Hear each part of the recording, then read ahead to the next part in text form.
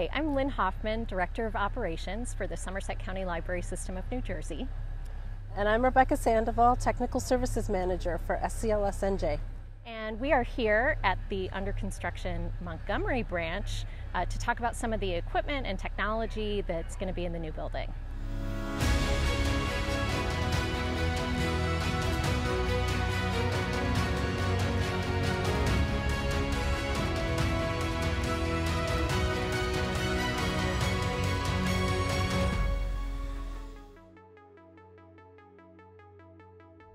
So, Rebecca, we are standing in front of the new Digital Preservation Lab um, here at the Montgomery branch.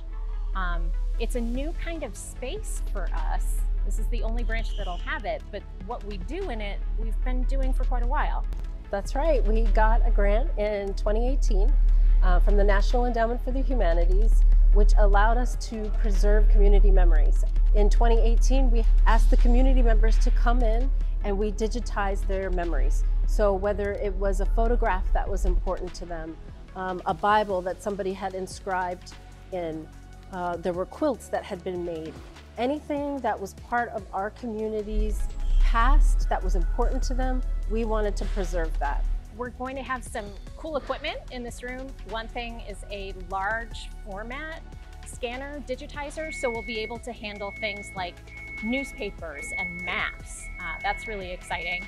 Um, we'll also have equipment that you can use bringing your own memories in from home to make digital preservation copies of them. So if you have VHS tapes or uh, cassettes or a bunch of slides, um, we'll have an easy way for you to process those and get a digital copy for you to keep. Does that mean I can preserve my old mixtapes? Yes, if you really want to preserve your old mixtapes, we can help you with that. So what happens after people digitize their memories? Okay, so we a number of things actually happen. We load them into an online platform so that anybody can see them and they're able to be shared. Um, they're added to our catalog as well as we have this brand new partnership um, with DPLA, which is the Digital Public Library of America, and all of our um, photographs and, and digital items are going to be harvested and available there. The spaces behind us I'm really excited about. It's something we get asked for all the time. Um, these are small rooms that can be used for private study or meetings. We have eight of them altogether, which is really awesome that we were able to fit that into this design. Um, one of them actually is going to be soundproofed, um, so you can use it, you can bring in your podcasting equipment from home and have a nice quiet place to record your podcast.